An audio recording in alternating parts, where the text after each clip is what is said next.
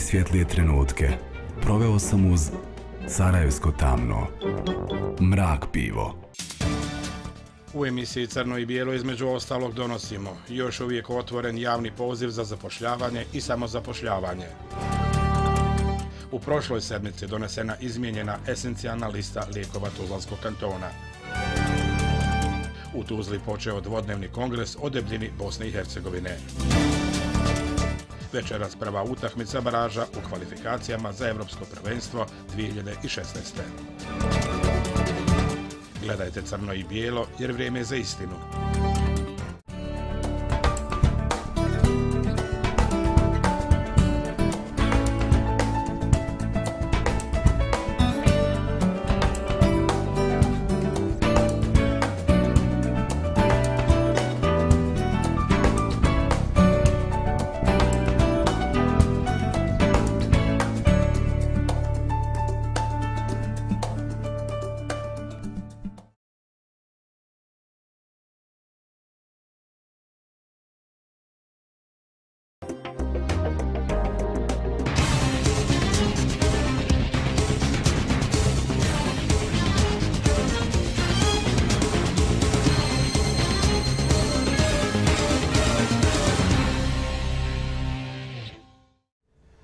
Poštovani gledatelji, dobro vam večer u emisiji Crno i Bijelo. Nakon objave na program sufinansiranja samozapošljavanja i zapošljavanja u oblasti poljoprivrede se već prijavilo više osoba, među kojima su i oni iz Tuzlanskog kantona, potvrđeno nam iz u Federalnom zavodu.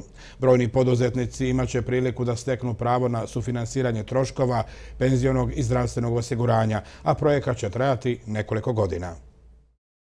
Oko stotinu osoba već se prijavilo na program sufinansiranja samozapošljavanja i zapošljavanja u oblasti poljoprivrede 2015, koji je u ovoj sedmici objavio Federalni zavod za zapošljavanje u saradnji sa Federalnim ministarstvom poljoprivrede.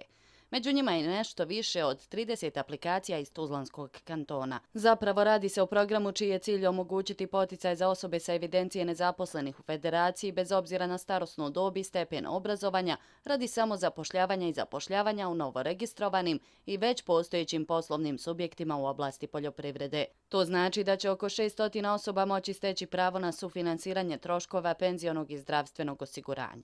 Što se tiče poticajnih e, mjera, predviđeno je da e, federalni zavod, nakon što e, osobe iz ciljne grupe registriraju poljoprivrednu djelatnost i otpočnu sa radom, da će im zavod mjesečno refundirati poticajna sredstva i to u visini od 100% iznosa obaveznih doprinosa u prvih 12 mjeseci Nakon toga, Federalni zavod će korisnicima sufinansirati troškove penzionog i zdravstvenog osiguranja još dvije godine u visini od 50%.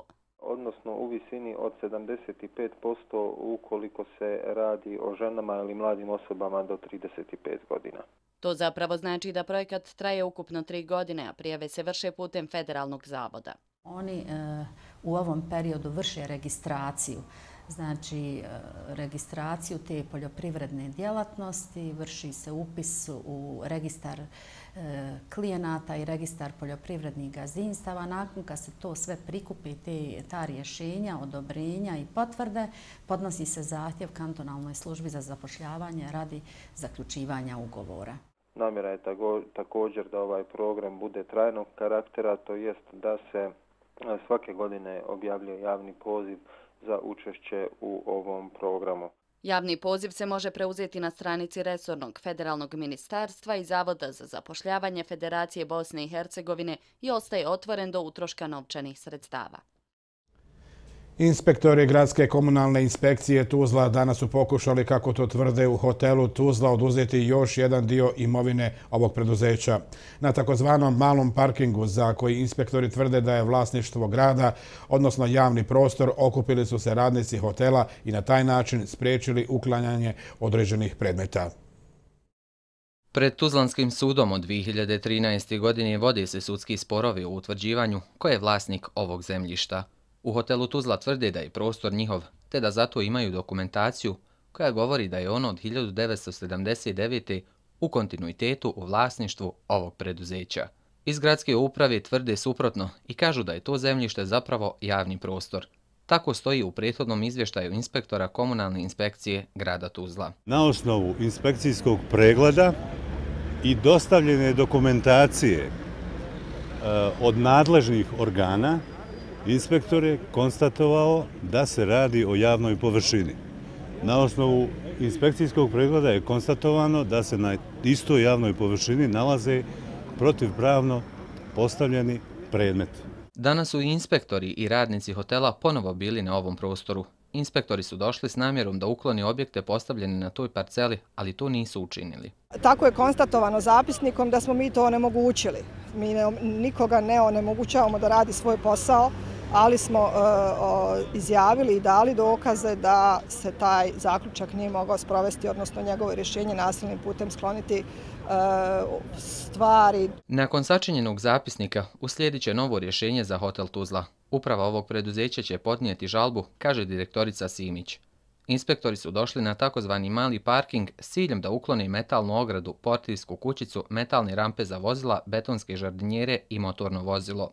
Iz hotela naglašavaju da se na ovaj način još jednom nanosi šteta njihovom preduzeću. Namjera je bila i e, spojiti, uspojiti ovaj, sa glavnom cestom izlaz za konzorci, što znači da mi u svoj ekonomski ulaz ne bismo mogli nikako ulaziti, znači to bilo poravnato ovako sa cestom, mi bi možda helikopterom mogli nabavljati robu, a u principu je u pitanju protupožarni put. U vezi s ovim predmetom i parcelom pokrenuta je jedna krivična prijava, a 26 puta se dopunjavala, ističe Simić. Konačnu procjenu ko je u pravu, a ko u krivu u ovom slučaju, daće Tuzlanski sud.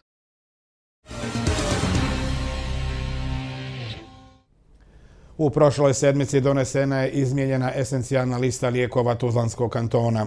Tuzlanski kanton je po ovom pitanju prvi koji je prednost dao domaćim farmaceutskim kompanijama. Saznali smo u Resornom ministarstvu da li ima dovoljno lijekova za potrebe pacijenata i šta možemo očekivati od nove esencijalne liste lijekova.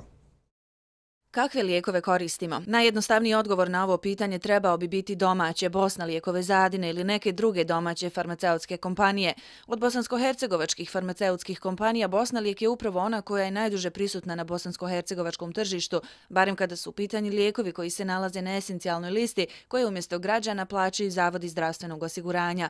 Ministarstvo zdravstva Tuzlanskog kantona iskoristilo je svu zakonsku legislativu i ograničilo broj zaštićenih naziva lijekova, prije svega misleći na domaću farmaceutsku industriju.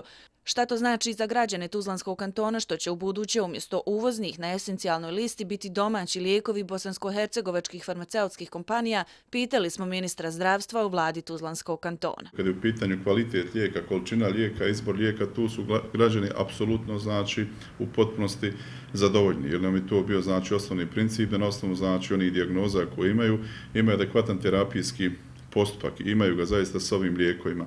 Ukoliko ćemo imati malo nacionalne svijesti pa reći da od tih 8 miliona treba ostati na počet Tuzlanskog kantona i da u tim fabrikama rade znači građani Tuzlanskog kantona i da se doprinosi plaćaju federaciji Tuzlanskom kantonu, onda vam je jasno da će imati korist šira društvena zajednica. Iako i određeni članovi zakona o lijekovima Bosne i Hercegovine kažu da na esencijalnoj listi moraju biti lijekovi domaćih farmaceutskih kompanija, dosad se to u praksi više izbjegavalo nego provodilo.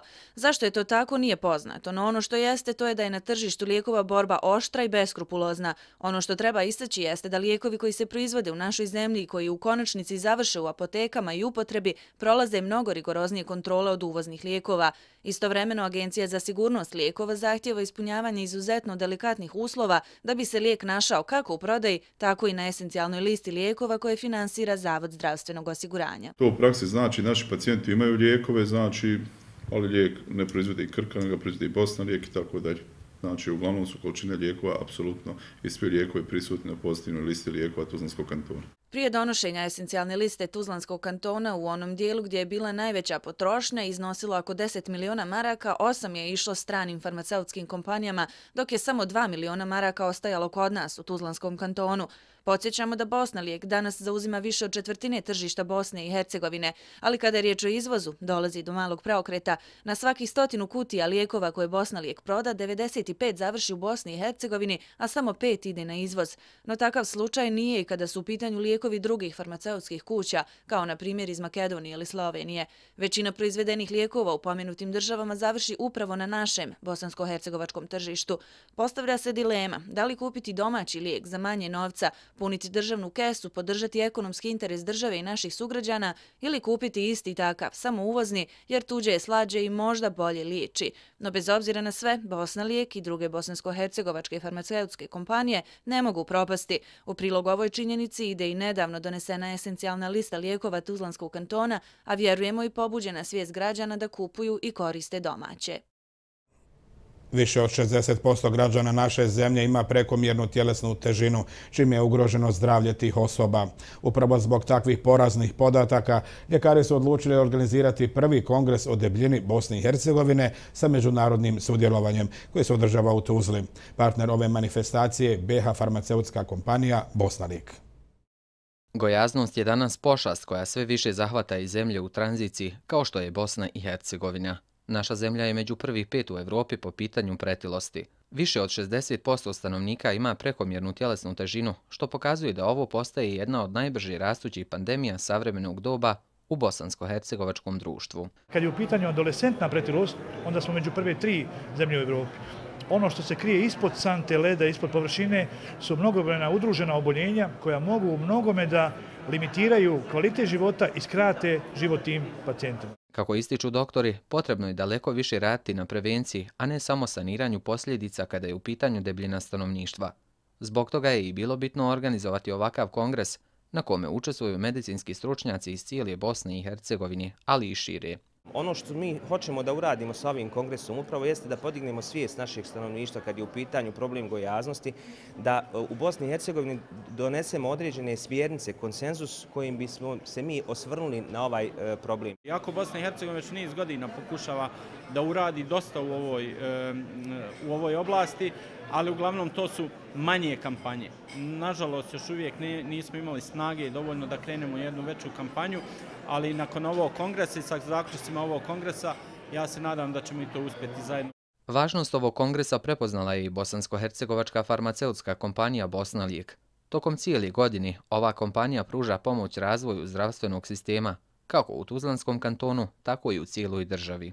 Izuzetno nam je čast da smo jedni od sponzora ovog skupa i vjerujemo da ćemo kroz ulaganje u zdravstveni sistem i kroz ulaganje u naše ljekare i generalno uz naše građanstvo doprinijeti boljoj zdravstvenoj njezi i što manje problema kako u segmentu debljine, tako i svim ostalim segmentima zdravstvene zaštite. Kako su istakli doktori, preventivnim djelovanjem u ovoj oblasti uspjeli bi uštedjeti novac, ali i donijeti određene benefite za građane. U zapadnim zemljama uvode se porezi na brzu, odnosno nezdravu hranu, što je zapravo dokaz da se brine o zdravlju stanovništva. Kako poručuju doktori, tako bi trebalo biti i kod nas. Centralnom grijanju Dede Tuzla dodjeljena je prestižna nagrada Nacionalno priznanje BH izvrsnosti za 2015. godinu. Prema raspisanom javnom pozivu na prijedlog odbora ocjenjivača i savjeta nacionalnog priznanja BH izvrsnosti, programski odbor dodijelio je nacionalno priznanje BH izvrsnosti za 2015. godinu za tri poslovne organizacije koje su imale najbolje iskazane performanse ocjenjene prema modelu BH izvrsnosti. Osim centralnog grijanja Dede Tuzla, To su Uprava za indirektno oporezivanje Bosne i Hercegovine i općina Cazin.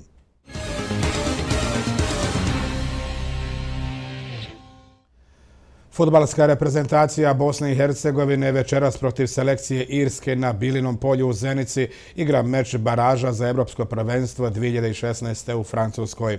Naši novinari provjerili su kakva atmosfera vlada na ulicama Tuzle i šta Tuzlaci očekuju od večerašnjeg susreta. Ne znam, baš ja navijam za vas, tako da očekujem najbolji. Koji rezultat možda? To mora jedno 2-0. Evo, vidite, sjedim i ček, jedva čekam da krene tu. Ovaj, nadam se 100% pobjedi. Pošto vidim da su, da su svi spremni, igrači i navijači, da su spremni, nama bi jednostavno rezultat bio dovoljan i 3-1 da bude, a da tamo bude neriješeno samo da prođem. Ja mislim 2-0 ili 3-0 od prilike da će biti, oni su malo oslavljeni, mi smo jači nego ikad, tako da kažem, pa mogli, mogli bi pobijediti, donijeti sreću ovom našem narodu, da se malo veselimo. Razvalit ćemo i jedno 3-1 i to je gotovo. Idemo na evropsko prvenstvo ako Bog da. Mislim da će biti 2-1 za nas, I to je to, znači idemo u Francusku ako Bog da, at, to je moje mišljenje, neko, jako su oni malo jaki, ovako 0-0 bi odgovaralo isto, ali dobit ćemo 2-1.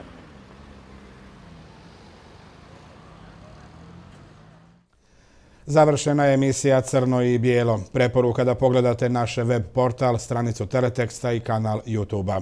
Ukoliko želite kontaktirati redakciju, javite se na e-mail redakcija.rtvslam.ba. Do gledanja. Lijepom pozdrav.